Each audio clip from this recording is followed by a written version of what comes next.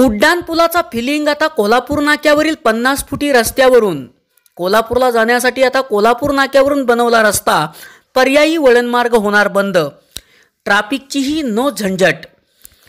कराडचा कोल्हापूर नाक्यावरचा उड्डाण पूल पूर्ण पाडून झाला असून आता या मोकळ्या मैदानातून बनवण्यात आलेल्या रस्त्यावरून उड्डाण पुलाचा फिलिंग वाहनचालक घेणार आहेत.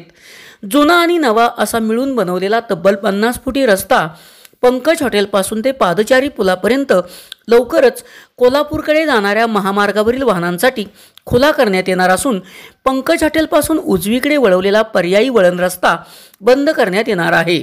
सध्या या रस्त्यावर लावण्यात आलेले बॅरिगेट हटवण्याचे काम सुरू असून दोन्ही रस्त्यांच्या मध्ये असणारे खड्डे आणि गटारांची डागडुजी करण्याचे काम सुरू आहे. येत्या काही दिवसातच या पन्नास फुटी रस्त्यावरून उड्डाण पुलाचा फिलिंग घेत वाहन चालक कोल्हापूरकडे रवाना होणार आहेत. या रस्त्यावरून वाहने सुरू झाल्यानंतर लगेचच कोल्हापूर नाक्यावरील नवीन उड्डाणपुलाच्या पिलरचे बांधकाम सुरू करण्यात येणार आहे. याबाबतची तयारी धोंडेवाडी येथील जैन कंपनीच्या कॉस्टिंग यार्डमध्ये सुरू झाली आहे. या रस्त्यामुळे आता छोट्या रस्त्याची नो कटकट आणि ट्रॅफिकचीही नो झंझट. एस पी ओरिजिनेटिव्हसाठी सुनील परीट कराड